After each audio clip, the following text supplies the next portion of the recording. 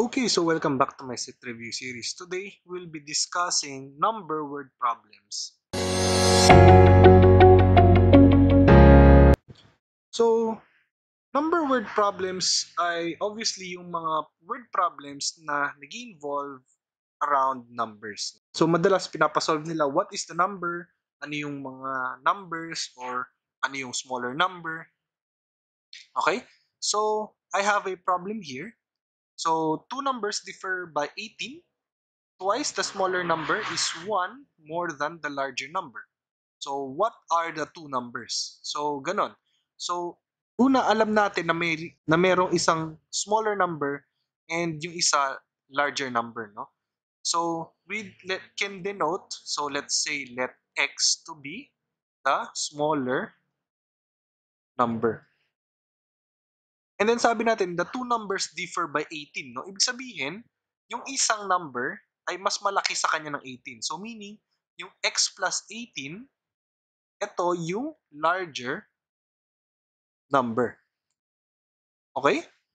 So, sabi sa atin, twice the smaller number. Okay, so twice the smaller, so 2x, is equal daw is 1 more than the larger number.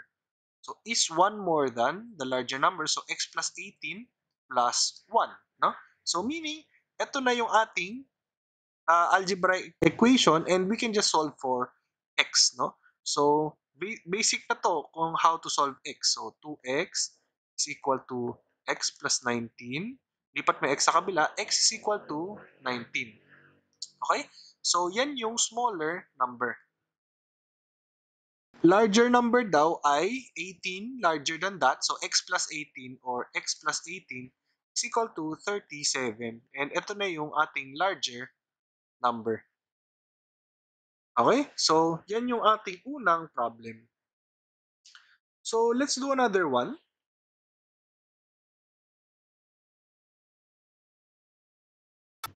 So, ito yung second problem natin. No? So, sabi, find four consecutive integers such that the sum of the first and the third integers, okay, is 17 more than the fourth integer.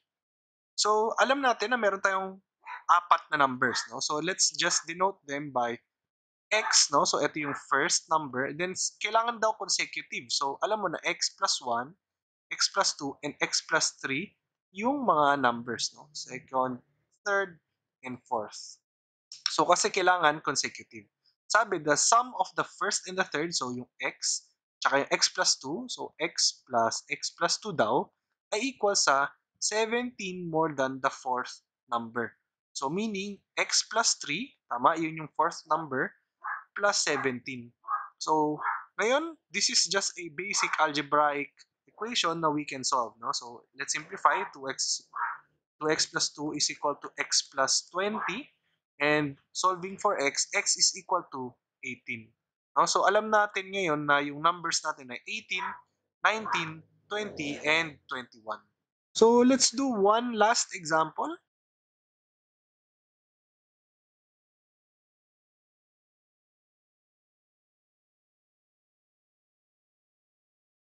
So, yung last problem natin, sabi, the numerator of a fraction is 2 less than its denominator. If the numerator is increased by 1 and the denominator is increased by 3, the fraction is now equal to 1 half. So what is the original fraction? So alam natin meron tayong numerator and denominator. So let's say x yung numerator, no? And then sabi, the numerator of a fraction is 2 less than its denominator. So meaning, x plus 2 yung ating denominator. So alam mo na meron kang fraction na x all over x plus 2. Okay?